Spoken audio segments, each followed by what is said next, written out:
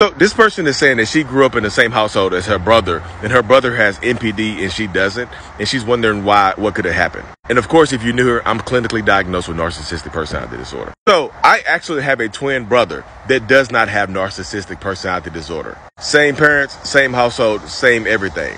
So my belief is that you, your perception of events in the household can lead to you turning out as a different person. You see what I'm saying? If I perceive this event differently than my twin brother, then I have a different response to this event, to this trauma, to this neglect. Where this situation can make him a more caring person, this same situation can make me shut down and become narcissistic. And also, there could be a genetic predisposition to having a personality disorder as well, y'all. Like my grandfather had probably had undiagnosed schizophrenia, and that could be passed down in the bloodlines and skip generations. Because my dad doesn't have it, so my brother doesn't have it. I could just be one. Could just be me.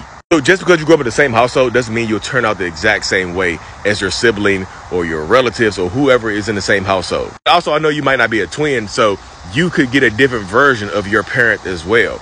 Let's just say you had you were born first or you were born second, your parents are at different stages of their lives as well. So if you have, a, I'm not saying you have a toxic parent, but if you have a toxic, narcissistic parent, they might treat you differently than they treat your sibling, which could they could traumatize your sibling and not traumatize you. They could traumatize you and not traumatize your sibling. Golden child, scapegoat kids, and things like that. Again, y'all, my twin brother does not have narcissistic personality disorder. I just do. People respond differently to the same stimuli. Same stimulus. Stimuli? Hmm. Anyway, y'all like and subscribe to the YouTube channel.